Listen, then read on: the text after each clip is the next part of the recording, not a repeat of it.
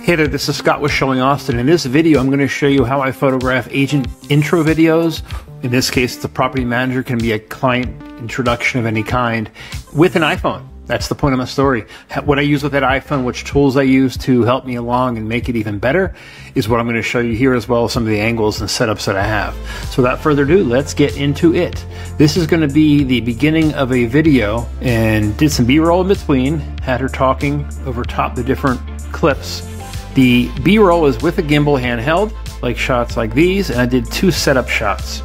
One with the living room as a background, like this, and I'm going to show you right now the setup I have here with my Beastgrip Pro. Beastgrip Pro is an iPhone mount, but it's more than that. It's got ability to add lenses, filters, lights, mics, etc. And it's universal, so it should be able to fit any smartphone as they change in size. Hopefully, the new 16 Pro Max as well.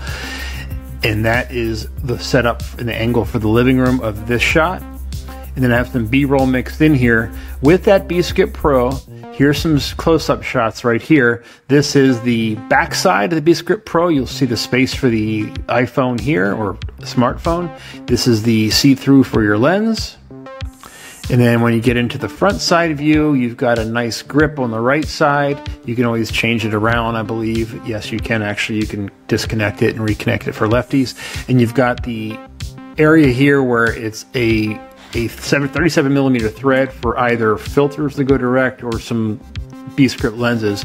Beastgrip lens I do use for this is a Kenko 0.75. The iPhone has the 1X best, at least the iPhone 15 Pro Max has the 1X that is the best lens. So with this additional lens, you not only take that sharpness down a little bit that iPhones usually have, but you get, get cut back to a 0.75 focal length. So it's a little bit wider and you're using the best lens in that in that camera.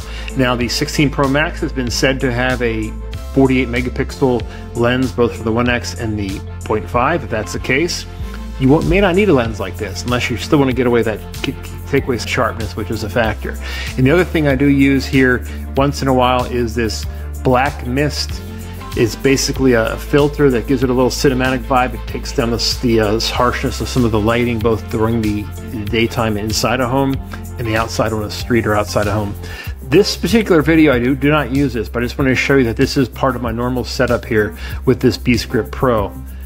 And the other shot I did right here is with the Beastgrip Pro in this agent. Now I'm using, if you notice, a gimbal. This is the Weebill S gimbal. You can use any gimbal. And I'm going to show you more of the total setup and the look of that. But I'm using this with the tripod attached underneath of it.